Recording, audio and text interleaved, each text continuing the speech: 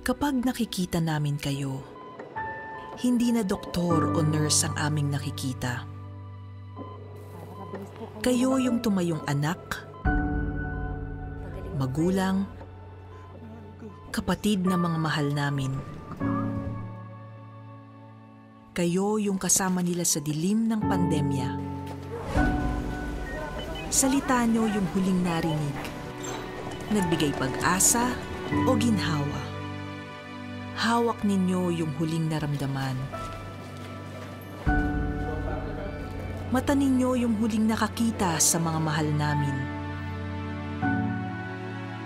Tenga ninyo yung huling nakarinig ng kanilang mga daing at dasal? Sa mga pumanaw, kayo yung unang nakiramay.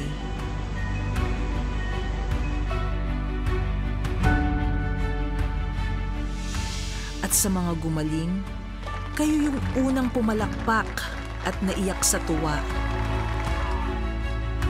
Kapag nakikita namin kayo, hindi na doktor o nurse ang aming nakikita.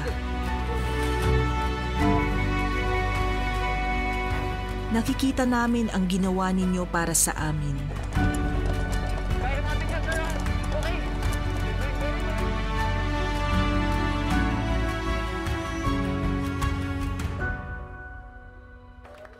Kayo yung nagsilbing kami para sa mahal namin.